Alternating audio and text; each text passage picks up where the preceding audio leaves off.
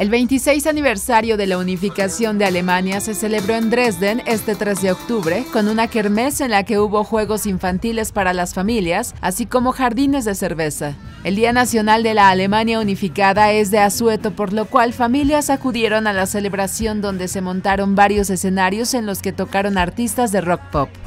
El platillo más representativo de Alemania, la salchicha, estuvo por doquier. Incluso un puesto las vendía de medio metro de largo. El presidente del Parlamento, Norbert Lammert, manifestó durante la celebración que a pesar de los problemas actuales, el Día de la Unificación Alemana es motivo de fiesta porque se ha logrado mucho en 26 años. Con información e imágenes de Olga Borovio, corresponsal en Alemania.